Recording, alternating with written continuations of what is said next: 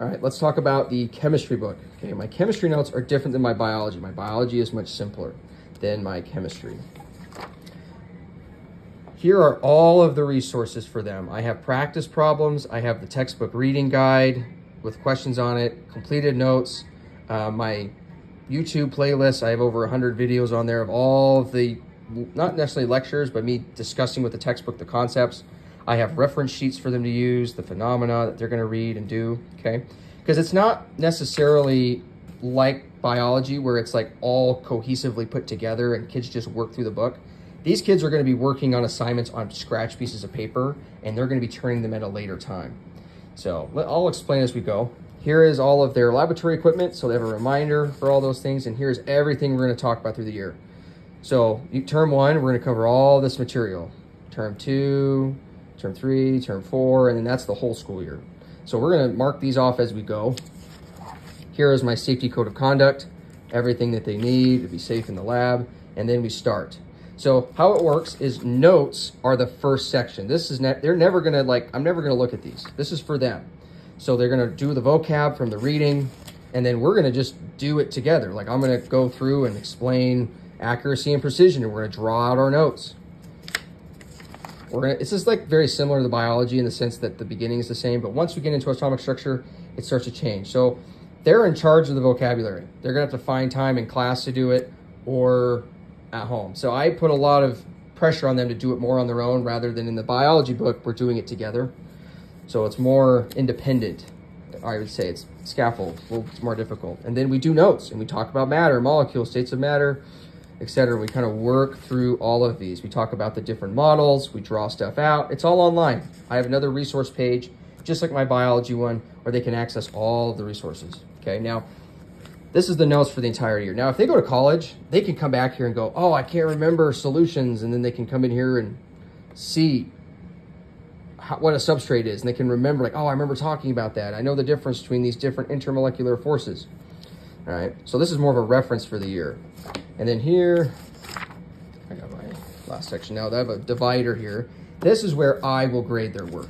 Okay, so coursework. Now I have the same rubrics in here. It's a little different than the biology because I have what we call proofs and assignments. So they're a little different. And I still have the same achieving an A, earning a C, same grading scale, and then the same alignment. But then when we get into here, it's a little different because it's not just levels, it's also got assignments because practice problems, the labs that we're doing, they're on separate sheets of paper. So what they'll do is they'll turn in this book with the first three levels, and then they're also going to turn in these other assignments, and I will give them a grade based on how much they got done for each of those based on my rubrics.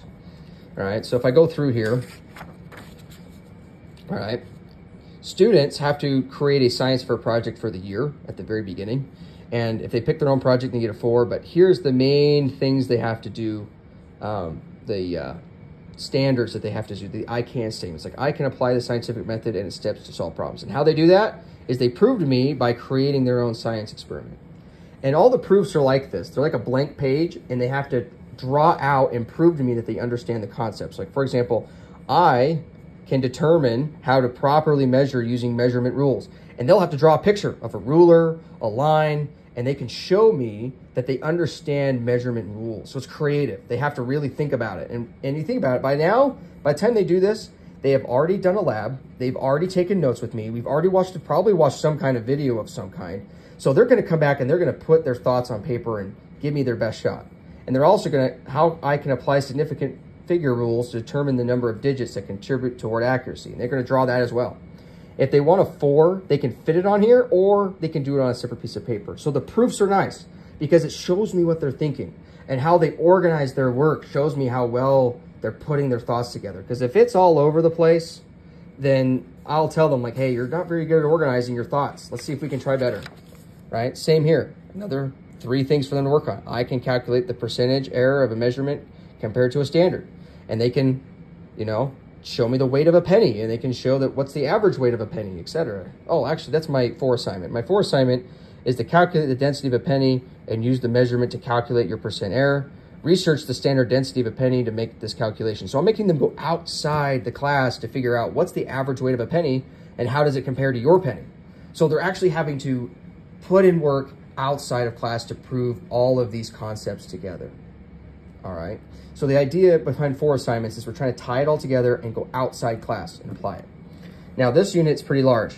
Okay, we have our four levels. These are our proofs. These are where a lot of points come in. I really want to see their work.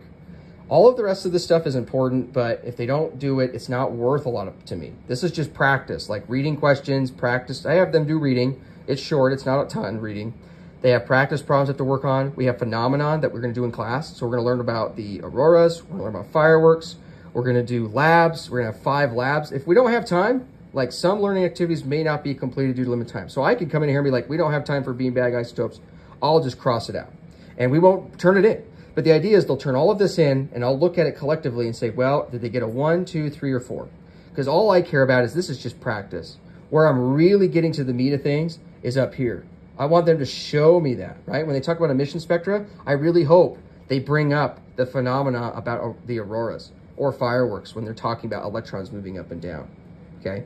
I hope that when they talk about electron configurations, they use the examples from the lab electron configurations. They're using the information they're learning to apply it to a proof that I am now grading. So these things, I'm giving them points for participation, basically. If they did it, they get basically four, a four out of it. I don't really care if they, I don't really care to look at it. I have keys for like all of this. So they can compare their answers to anything they want to. And I, I made all my own problems. I wrote all my own questions. So everything is just original and they just can find my key for it. But I care about is how well do they understand the particle nature of matter? And the, and the standards, the things that I really care about are can they relate together matter, atoms, elements, and chemical symbols? In our notes, there is a little section where I talk about and relate all of them. They can literally draw the same picture that I drew from their notes. So the notes is a great guide for them for some of these things. They can recognize the states of matter for elements and compounds is related to the average kinetic energy of atoms. So they can simply find an example on the internet or come up with their own to describe that concept. And so they're going to draw it out. The same thing here. So the idea is that the standards are they're having to prove to me that they understand it. And if they want a four, they have to go outside, right? So they research an element of your choice that is not in the first 20 elements and calculate its average atomic mass. Because in the to be proficient, you have to be able to calculate the average atomic mass of the first 20 elements. That's kind of my opinion, 20 elements. Anything above that, that's extra. So find an example. And if they do uranium, they're going to find tons of isotopes and they're going to go, oh, this is a lot more complicated than I thought. And that's the goal, is to have them realize, oh, there's more than what Mr. Flynn's teaching. All right. And so that's how it all it's all set up. So I don't have all of these things for them to work on in the book. These are just due on test day. So make sure you do your quizzes. Make sure you do your um, common elements, these assignments, and just check them off as we go. And if we don't do candles, we'll cross it off because we don't have time for it because these are the pebbles that let you practice, but these are the boulders. These are the things that I really care about because they're really, they're really just answering the questions to the standards, right? These are the things that really matter. And so if they can draw this out, even if they, for example, if a student didn't do any of these assignments, but yet they did these, they could probably still pass my class. But is the quality of their work going to be very good unless they do this? They have to do this to do well. They just have to. And if they choose not to, that's on them. They probably won't score very well. But I want to see that they understand the big pieces. And you'll notice how I have icons in all the corners, and it lines up with my page um, on my Canvas page and everything so I can kind of see quickly, like, what chapter am I on? If I see a, right, if I see atoms being bonded together, oh, it must be intermolecular forces. So I've got little icons to help them remember. Everything is out of four. And so they'll come in here and circle their grades once I've given them like a stamp right here out of one through four. And so these take some time to look at and you really get to work with the students and help them see what they're doing wrong and you could catch mistakes as they go and make sure like, well, during that lab that we did, you may not have understand the parts of a solution. You're still mixing up solvent and sol solute and solvent in your drawing. You could see that and you could clarify it with them and talk about the lab and go back to it, right? Because they have things to reach back to. So we do several learning activities and then they tie it together right here. And I broke it into levels so that we can chunk it down and get through it all. Now, some of these are kind of hard because they're very math heavy, especially chemical quantities. All right and we go through and work on each of them. And on the back here, I have the periodic table. It's laminated, so kids have a reference. And then here I have all of the uh, terms that you need to know. I made all of these on Adobe Illustrator. It took a very long time. I even corrected Flynn correctly. Set an I in there. I have my common ions that they have to know, acids, bases, Roman numerals. I even have a reference page on how to pronounce the formulas. This is just my thought pattern of how to name compounds. And so kids use these references all the time if they need help on a test. Um, these are allowed on the test, these reference sheets. I have the activity series for halogens and metals. And then lastly, solubility rules, all right? My goal here is that these back pages are just for them to kind of come back to if they need help. But just if kids ever get stuck, I've got YouTube videos they can watch. The notes are completed. The textbook reading guide, they have questions they can answer on a separate sheet of paper. The practice problems, I have a key. They can only access it at school, but they can't access it online, but they have all the problems at home. They have phenomena at home and all the reference sheets. So everything is listed out for them. They literally can find anything they want to if they looked hard enough. And then they can check off as we go through the whole year how it works. So the goal is to give kids ownership of their grades and it has the same tracking system as I in the other video I made that shows how kids move forward and how they compare to their peers in another video. But if you have any questions about this, please let me know. Or if there's something that you teach that's not in here that I think I should teach or maybe add, I'll be happy to listen to you and talk to you about it. So especially here, like if I'm talking about models and electrons, can I word this better? If you looked at it and said, oh, I don't know like how you worded that, maybe that's a little too much, help me out. I'd like some input. I've been doing this by myself basically, and I've been slowly building it. So um, I'd like your input. Oh, also too, down here, I also told the kids how to improve their grade. I try to get it everywhere so kids can see exactly what they need help with. Like proofs, show your revised proof to me. Quizzes, complete a correction. Complete corrections equals a four. Test corrections, you get a quarter point back. So they know exactly what they can get. And then they can get a final score for that unit, and I just put that grade in. Okay, it's simple. And also, one last thing I'll, I'll put on this. Let me pull this up. Ooh. it's right here. I made this a long time ago, and I have this in my class because kids need to know how to do a proof correctly. So I have emerging, approaching, proficient, exceeding. So emerging looks just like words. Approaching, they've got some of the material, but not all of it. Proficiency, they're showing me everything. And then a four is giving me that example of tying it all together. All right, so I actually have models that show students what a one, two, three, and four look like. I also have it for reading questions. Like if I look at their reading and they're giving me little one-liners that don't make much sense, I'm to get more on their case about making sure it's done correctly. So I've got these models that I give students um, in my class that they can reference. Even this model, how to do a correction, these kind of things. Um, that's some of the old stuff. There's my scale again from the other video on how I fix grades. Like if they got a 2.7, you know, if they did a correction, the most they can earn is a 3.02. That's what I bump it up to. If they have to do the whole correction. And I even have a little rubric what the colors mean. So if you want an A, your test has to fall in the blue category. If you want an A minus, or yeah, if you want to get an A, oh, that's a little bit different. Oh, that's fine. Oh, let me look.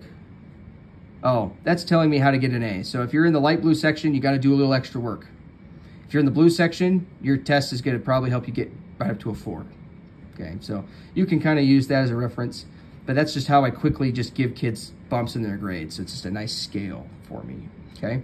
If you have questions, I can send you this. Um, but that's how I'm doing it. I'm doing standards-based grading, and it's working great because kids get instant feedback, and they keep these books, and I never collect them. And they just, I fix and help them right in real time.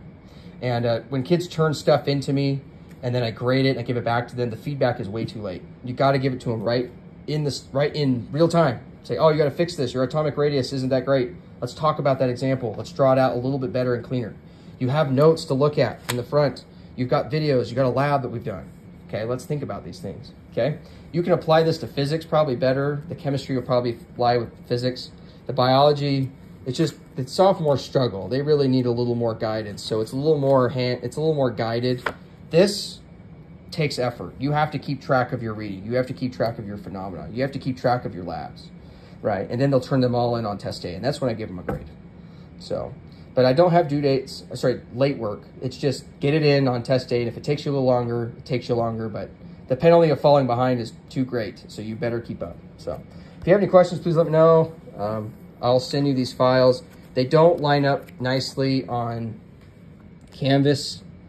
Uh, not Canvas, sorry. On uh, Oh, and here's my reference sheets that my uh, learning resources, like for college, or sorry, for uh, for biology. So if you have a phenomenon, textbook, notes, learning videos, it's all here. So if they ever get lost, they just go to that section and they can find it. So I'll send you that link as well. And if there's something in there that you find a good, better video, let me know. I'll fix it and I'll maybe I'll change it. So I'm always open to new ideas. So thank you.